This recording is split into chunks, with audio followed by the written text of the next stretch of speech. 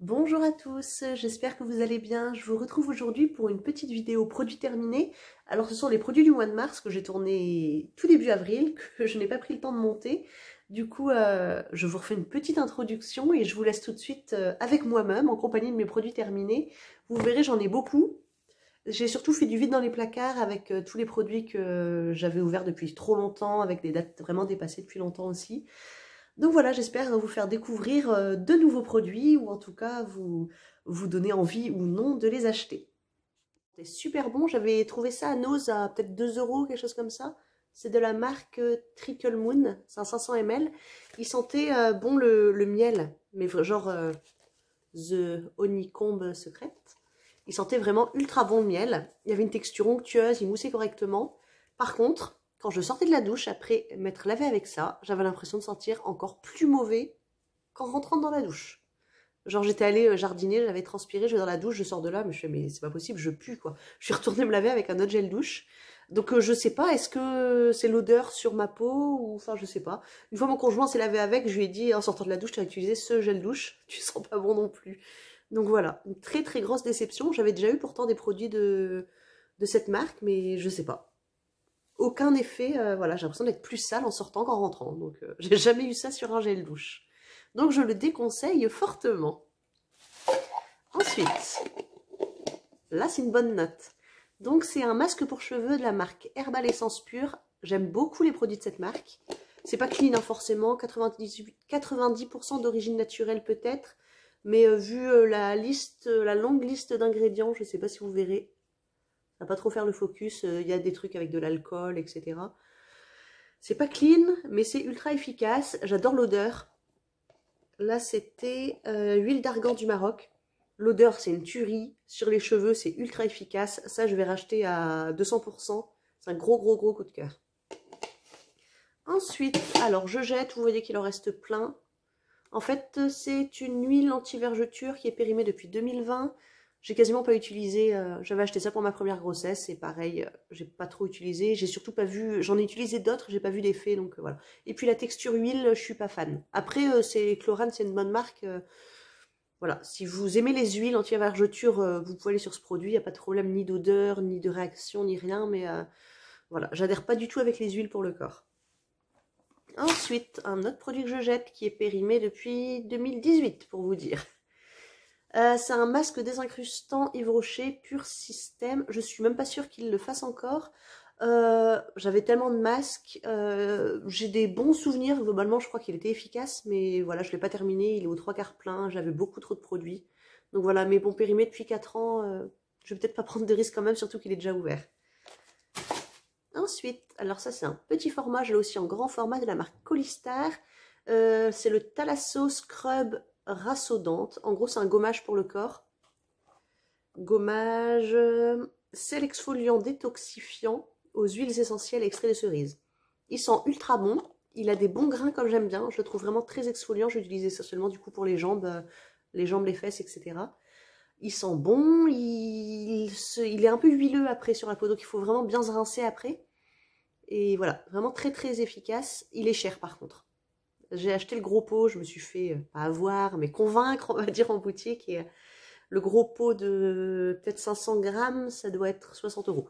Donc voilà. Ça, on me l'avait offert en échantillon en plus. On pouvait bien d'ailleurs, vu le prix que j'avais payé, le grand format. Mais oui, très très bien. Et donc euh, ça, c'est Colistar, ça se trouve chez Mariono. Et il me semble qu'il y en avait, alors pas le gommage, mais qu'il y a cette marque-là qui a débarqué chez Nose aussi il y a quelques temps. Donc voilà, très bon produit, je vous recommande. Ici, miniature Roger Cavaillès, soin toilette intime extra doux avec calendula apaisant. Il est très bien, il sent très bon, il mousse mais pas trop. Ouf, je m'en suis pris dans le nez. Euh, non, il est vraiment très très bien. Je pourrais le racheter. C'est un 40 ml que j'avais vu dans les box, euh, dans les trousses euh, bébés là, à la maternité. Mais vraiment très très bien. C'est une bonne marque, c'est un bon produit, il sent bon. Rien à lui reprocher.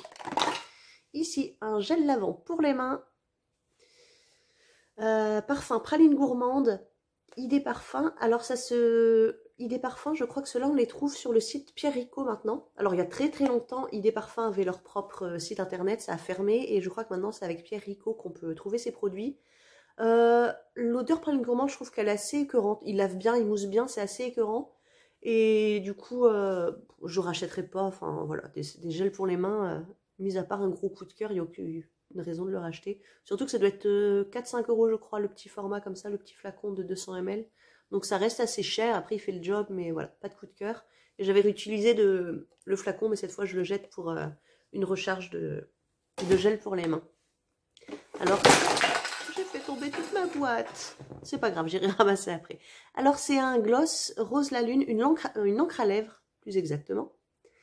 Euh, je pense que ça a dû être reçu dans une box. Je l'avais commandé euh, sur, un, sur Vinted, en fait, dans un, lot de produits de beauté que j'avais pris, euh, que j'avais pris sur Vinted à pas cher. J'ai dû le payer un ou deux euros. Alors, il était vraiment neuf quand je l'ai reçu. C'était une jolie couleur. Moi, j'aime bien ce genre de, couleur. On en voit. En fait, il est quasiment plein. il m'a piqué les lèvres genre euh, désagréable quoi.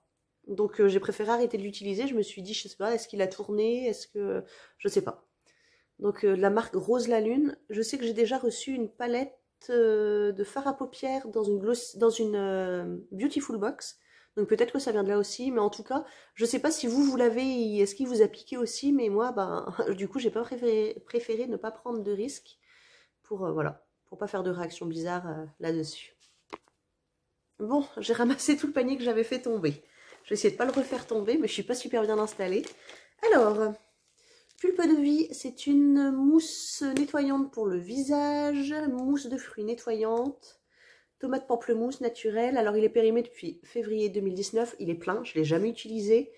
Euh, j'ai une période où j'adorais les mousses nettoyantes, sauf que, je, sais pas, j'aime plus du tout les utiliser, et elle est périmée depuis 3 ans, donc euh, pour le coup... Euh, voilà, pour le visage, au niveau des yeux et tout, je préfère pas utiliser. Donc, malheureusement, je jette. J'aime bien la marque Pulpe de Vie, ils font des bons produits. Donc, si vous l'avez utilisé, peut-être que vous avez adoré. Mais c'est vrai que moi, ben, j'ai perdu bêtement un produit. Euh, une fois de plus, avoir trop de stock.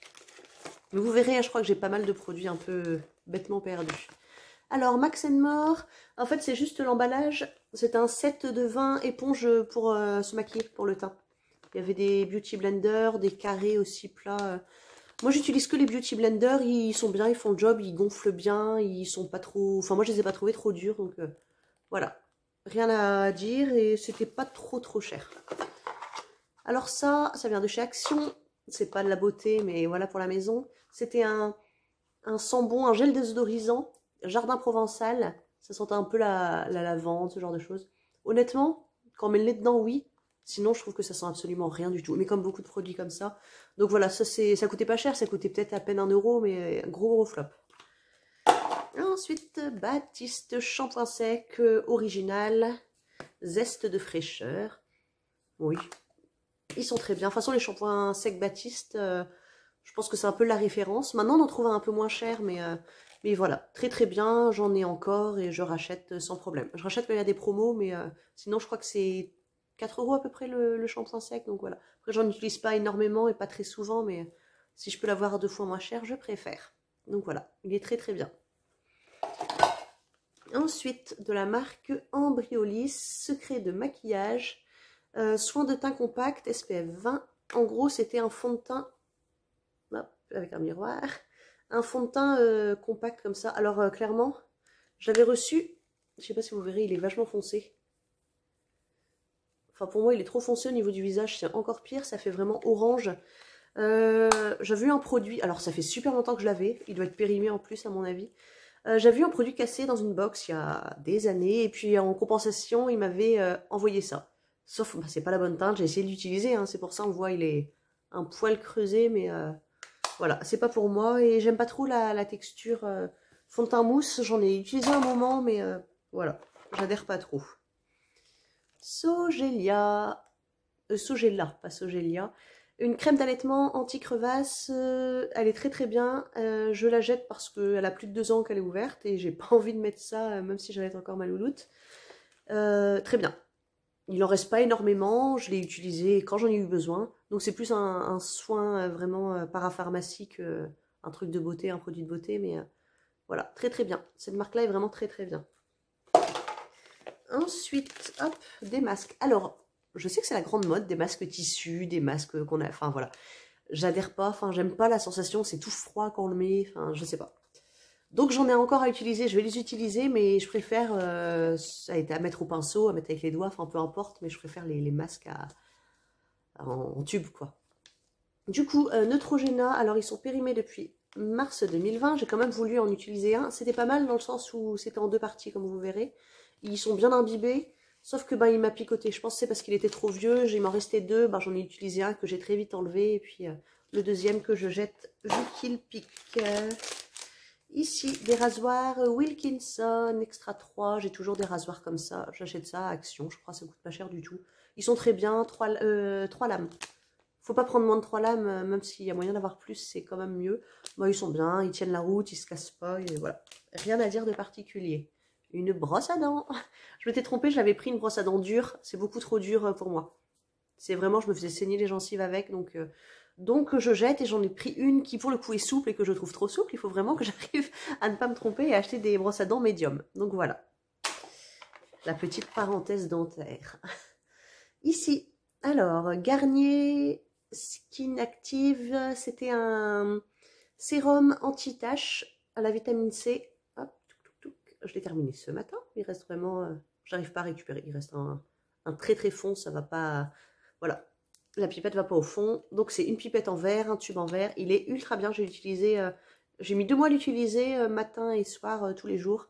Vraiment, ma peau est vachement plus lumineuse. Elle me tiraille beaucoup moins depuis que j'utilise ce produit-là. Après, c'est la première fois que j'utilisais un sérum aussi. Avant, j'utilisais pas de sérum, juste ma crème directement. Donc, je pense que j'ai compris l'utilité d'un sérum. Mais celui-ci, ouais, je vous le recommande. Il est vraiment très très bien. Il n'y a pas d'odeur forte. Il ne laisse pas la peau collante. Voilà. Donc, vraiment très contente de ce produit-là. Ensuite, euh, une eau micellaire, La Roche-Posay, c'est un petit flacon de 50 ml, ça doit venir d'une box. Euh, nettoyant, démaquillant, purifiant, pour peau grasse. Euh, moi, c'est peau grasse à mix qu'il me faut, donc ça convient à mon type de peau. J'aime bien, rien à dire. Je pourrais racheter, c'est pas très très cher. En plus, ça se trouve en gros flacon de 500 ml. Le, le rapport qualité-prix, il est plutôt là, donc contente de ce produit. Ensuite, hop, miniature, Yves Rocher, toc toc toc, hydra végétal, gel crème, hydratation non-stop 48 heures, peau normale à mixte. Euh, très très bien. J'ai beaucoup apprécié. Oh, j'avais la peau qui tiraillait euh, entre la fin de la grossesse, l'hiver, etc. Je mettais ça le matin, euh, j'étais vraiment tranquille, vraiment jusqu'à la fin de la journée. Alors hydratant 48 heures non-stop, j'en sais rien, j'ai pas essayé de garder 48 heures, mais ouais, je pense que potentiellement c'est un produit pour lequel je pourrais, vers lequel je pourrais me tourner. C'est pratique les, petits, les miniatures comme ça, mine de rien, pour découvrir un produit. Ensuite, hein, une crème lavande pour les mains Dove, l'original. L'original sent bon, hein. rien à dire. Je crois qu'il y en a un dans chacune de mes vidéos. Je préfère celui qui a la vanille, mais voilà. Celui-là, il est très bien, il sent bon, il fait le job, il mousse bien, et patati patata. C'est Dove, quoi. Donc j'adore. Ensuite, alors de la marque N4, je l'avais depuis une éternité. C'est un baume lissant euh, pour euh, les cheveux à utiliser sur cheveux secs ou humides. Je l'utilise le soir après le shampoing. Alors j'aime beaucoup l'odeur. C'est une odeur particulière. Hein, ça sent un peu la nature. Enfin, ouais, jour d'automne, ouais, ça sent... Je sais pas. Entre le feu de bois, les feuilles mortes, la nature. il est vraiment très bien. Alors c'est une texture un peu épaisse. J'ai pas réussi à tout, tout, tout reprendre. Mais j'ai beaucoup aimé et je pourrais vraiment le reprendre. Mes cheveux étaient, bah, pas plus lisses, euh, de base c'est pas ultra ultra lisse, mais mes cheveux étaient plus faciles à coiffer on va dire, et s'en mêlaient moins avec ça. Donc très contente de ce produit. Là, je jette Théorie des volcans, il est périmé depuis mars 2020. Euh, c'est un produit pour les lèvres avec ma mésaventure, on va dire, de l'encre à lèvres euh, qui me picotait. J'ai pas voulu prendre de risque en mettant ça sur mes, sur mes lèvres vu que c'est périmé depuis deux ans. Donc, euh, je ne sais pas ce que ça vaut. Peut-être que vous pourrez me dire si c'est bien ou pas, mais euh, tant pis. Ensuite, euh, lingette intime Vania, ça a séché, c'est périmé depuis septembre 2021, ça a séché. J'utilise pas trop en fait ce genre de produit, c'est vraiment très très occasionnel, donc c'est, voilà, il doit rester 2-3 sur 20 dedans, donc poubelle sans regret, je pense que je rachèterai pas, ça, fait le job, hein, mais j'ai pas l'usage en fait moi de, ce type de produit. Ensuite, ça c'est un produit que je jette aussi, qui est périmé depuis mm, euh, avril 2021. C'est de la marque Apicia Paris Soins ensoleillants progressifs au miel. Ben, vous voyez l'intérieur, ça, ça a coulé. J'ai l'impression qu'il a été ouvert en fait. Je suis même pas, je sais pas si j'ai reçu dans une Beautiful Box ou si je l'avais commandé sur Vinted dans, en faisant un lot sur, sur le Vinted d'une personne. Toujours est-il que j'utiliserai pas les soins ensoleillants, tout ça, je, voilà, je suis, non. je prends le soleil naturellement, on va dire. Maintenant, je suis pas trop, trop bronzant et compagnie, et voilà, il est périmé. J'aime bien la marque, hein. par contre, j'ai utilisé d'autres produits de la marque, j'ai vraiment beaucoup apprécié, mais celui-ci, pas pour moi. Ensuite, je jette ça parce que c'est vieux et périmé depuis, depuis, depuis. Je ne vous dis pas combien de déménagements j'ai dû faire avec. Je ne sais pas si vous verrez, 2013. Euh, c'est euh, une crème dépilatoire. J'ai eu ma période. Waouh, une crème dépilatoire, c'est génial quand j'avais 20 ans, quoi. Euh, clairement, j'en... Non, enfin, voilà. Il y a un épilateur, un rasoir, la cire, mais pas, de crème dépilatoire. Donc voilà. Après, il en reste quasiment plus. Hein. J'avais utilisé quasiment jusqu'au bout. C'est la marque Les Cosmétiques. C'est Carrefour qui faisait ça. Je suis même, pas sûre qu'il fasse encore cette marque-là de produits cosmétiques. Il était bien, rien à lui reprocher, mais j'ai arrêté de l'utiliser. Ensuite, il me reste quelques produits. Alors déjà, de la marque Nubi, ce sont des, euh, coussinets d'allaitement noirs, waouh. Je vois pas trop l'utilité qu'il soit noir parce qu'il est dans le soutien-gorge, donc ça se voit pas. J'avais eu ça à Nose à pas cher du tout, à 1,99, la boîte de 28. Euh, c'est pas mes préférés, je pense pas que je les rachèterai parce qu'ils se décollent en fait ultra facilement. Donc on se retrouve avec, oh le truc qui s'est barré, c'est génial. On se retrouve trempé avec un, coussin d'allaitement euh, collé sur le t-shirt. Donc euh, non, voilà. Je vois pas l'intérêt que ce soit noir et voilà. quand il tenait en place, il absorbait bien. Mais quand il tenait pas en place, ben, c'était complètement inutile. Ensuite, Yves Rocher, premier flocon. C'est euh, le bain douche en 50 ml. Ben, je suis pas souvent déçue des gels douche Yves Rocher. Mais là, je dois dire que l'odeur, elle m'a pas du tout, du tout transcendé. Après, efficace, hein, comme tous les gels douche Yves Rocher, efficace, il n'y a rien à dire là-dessus. Mais l'odeur, euh, je n'arrive pas trop à trouver qu'est-ce que ça sent réellement. Donc, euh, plutôt déçu. De toute façon, c'est une édition limitée, donc je la retrouverai pas, mais je l'aurais pas racheté autrement si c'était possible.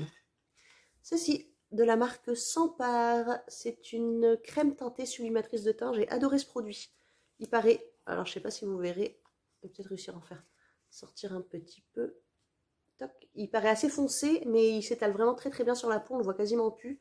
Et euh, je trouve qu'il a un réel effet euh, ouais, sublimateur, comme ils disent. Je n'ai pas d'autres mots à, à lui associer, on va dire. Mais voilà, très bien, ça je pense que je rachèterai. J'avais dû trouver ça sur Beauté Privée, comme on trouve beaucoup les produits sans part sur Beauté Privée, donc oui, je le recommande à 200%. On touche au but, il reste 4 produits.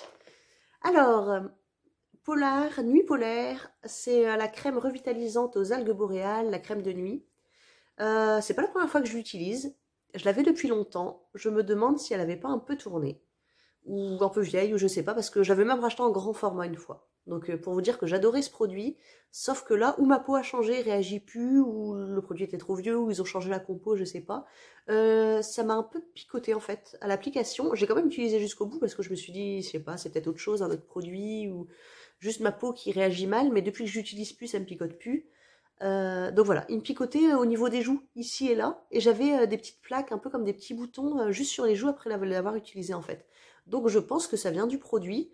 Donc je suis un peu, je sais pas trop quoi vous dire parce que c'est un produit que normalement j'adore, mais dans ce petit flacon là, là les, les 25 ml qu'il y avait là-dedans, ça n'allait pas du tout. Donc voilà, à retester, je retesterai sur, euh, je pense si j'ai l'occasion de le réavoir dans une box, mais euh, je sais pas, je sais pas trop quoi en dire.